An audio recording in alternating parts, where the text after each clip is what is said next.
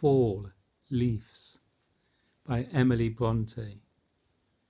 Fall, leaves, fall. Die, flowers away. Lengthen night and shorten day.